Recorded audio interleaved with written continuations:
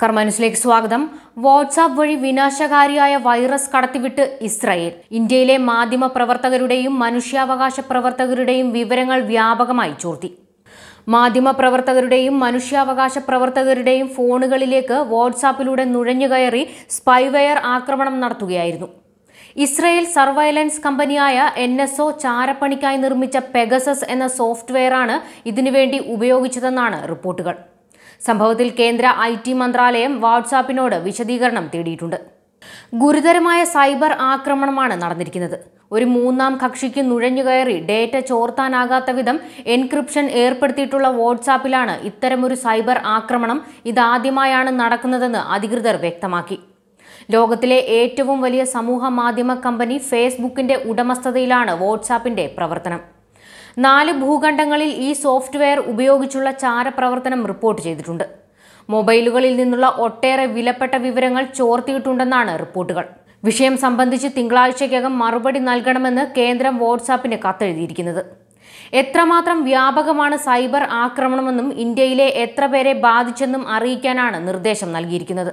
N S O സേവനം തേടിയ പേര് വ്യക്തമാക്കാത്ത ചില കമ്പനികളാണ് രാജ്യാന്തര തലത്തിൽ ആയിരത്തി നാനൂറോളം ഉപയോക്താക്കളുടെ ഫോണിലേക്ക് വാട്സപ്പ് വഴി നുഴഞ്ഞുകയറിയത് ഫോണുകൾ ഹാക്ക് ചെയ്യപ്പെട്ടവരുടെ കൂട്ടത്തിൽ നയതന്ത്രജ്ഞരും രാഷ്ട്രീയ പ്രവർത്തകരും മുതിർന്ന സർക്കാർ ഉദ്യോഗസ്ഥരും ഉൾപ്പെടുന്നു.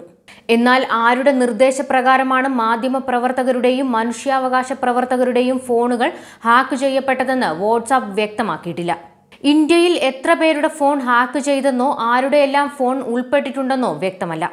മൊബൈലിലും കമ്പ്യൂട്ടറിലുമെല്ലാം നുഴഞ്ഞുകയറി വ്യക്തികളുടെ ഇന്റർനെറ്റ് ഉപയോഗത്തെക്കുറിച്ചുള്ള ഡേറ്റയും ഡിവൈസുകളും മറ്റ് നിർണായക വിവരങ്ങളും ചോർത്തുന്നതിനു വേണ്ടി ഉപയോഗിക്കുന്ന അനധികൃത സോഫ്റ്റ്വെയറാണ് സ്പൈവെയർ. ഉപയോക്താവ് അറിയാതെയാണ് പാസ്വേഡുകളും ഡോക്യുമെന്റുകളും ഫോട്ടോകളും ഉൾപ്പെടെയുള്ള ഡേറ്റ മോഷണം. വിനാശകാരികളായ സോഫ്റ്റ്വെയറുകളായ മാൽവെയറുകളുടെ കൂട്ടത്തിലാണ് ഇവയെ ഉൾപ്പെടുത്തിയിരിക്കുന്നത്. വാട്സാപ്പിലെ വീഡിയോ കോളിംഗ് സംവിധാനത്തിലെ പിഴവ് മുതലെടുത്തായിരുന്നു സൈബർ ആക്രമണം നടന്നത്. സർക്കാർ ഉദ്യോഗസ്ഥരല്ലാതെ മാധ്യമ പ്രവർത്തകർ ഉൾപ്പെടെ കുറഞ്ഞത് നൂറ് പേരെയെങ്കിലും ഈ സ്പൈവെയർ ബാധിച്ചിട്ടുണ്ടെന്നും വാട്സാപ്പ് വ്യക്തമാക്കി. ഈ എണ്ണം ഇനിയും കൂടാനിടയുണ്ടെന്നും കൂടുതൽ പരാതികൾ പ്രതീക്ഷിക്കുന്നുണ്ടെന്നും വാട്സാപ്പ് പ്രതിനിധി വിൽ കാത്കാട്ട് അറിയിച്ചു. വ്യക്തികളുടെ സ്വകാര്യ ജീവിതം നിരീക്ഷിക്കാനായി തയ്യാറാക്കിയ പല ഉപകരണങ്ങളും ദുരുപയോഗം ചെയ്യപ്പെടുകയാണ്. അനർഹരായ കമ്പനികളുടെയും സർക്കാർ ഏജൻസികളുടെയും കയ്യിൽ ഇവ എത്തിപ്പെടുന്നത് ജനജീവിതത്തിന് തന്നെ ഭീഷണിയാണ്. വാഷിംഗ്ടൺ പോസ്റ്റിലെ ലേഖനത്തിൽ കാത്കാർട്ട് വിശദീകരിച്ചു.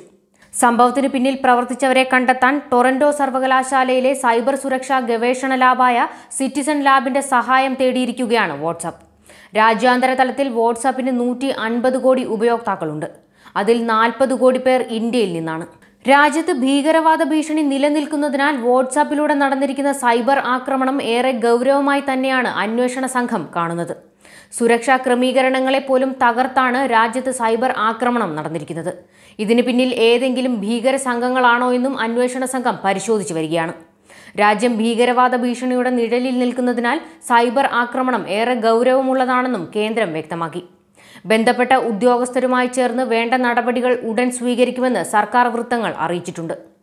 എത്ര വലിയ സുരക്ഷാ സംവിധാനങ്ങൾ ഏർപ്പെടുത്തിയാലും ആ പൂട്ടുകളൊക്കെ പൊളിച്ച് ഹാക്ക് ചെയ്യാൻ വിരുദ്ധന്മാർ ഏറെയാണ്. എന്നാൽ ഇസ്രയേൽ കമ്പനിയായ എൻ നേരിട്ടാണ് ഈ ആക്രമണം നടത്തിയിരിക്കുന്നത്. ഇതിനെതിരെ രാജ്യം പ്രതിഷേധം രേഖപ്പെടുത്തിയിരിക്കുകയാണ്. News desk Karma news.